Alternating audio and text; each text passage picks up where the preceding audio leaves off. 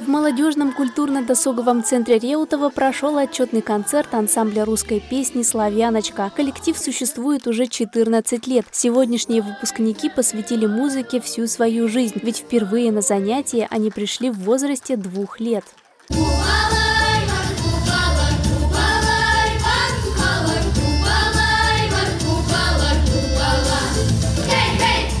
Ансамбль существует под негласным девизом «Живи и процветай, песня русская». В их концертном репертуаре народные песни, патриотические и авторские. Например, песня «За Россию» авторства певицы Юты, которая разрешила коллективу ее исполнить.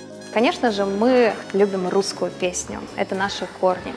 Но также, чтобы в наш коллектив приходила молодежь, мы должны это делать интересно соответственно, стилизовать. Поэтому у нас и русская песня стилизованная, да, фольклорная, а также эстрадная. Этот год у нас был очень яркий, и снова коллектив становился лауреатами всероссийских и международных конкурсов. Коллектив был приглашен на Первый канал в программу «Поле чудес», на Второй канал «Доброе утро».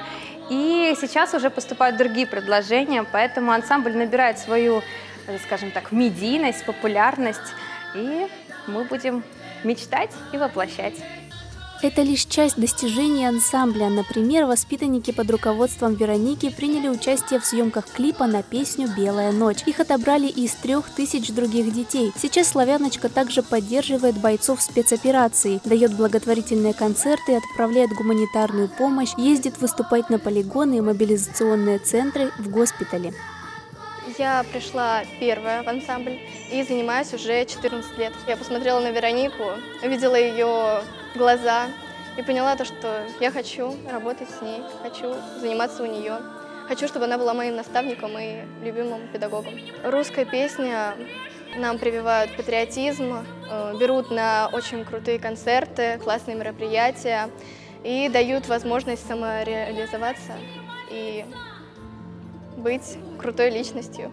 Летом «Славяночка» продолжит свою деятельность. Отдыхают воспитанники только полмесяца. Их ждут и репетиции, и концерты. В феврале следующего года ансамбль отметит свой 15-летний юбилей. Жителей и гостей Реутова ждет большое яркое событие.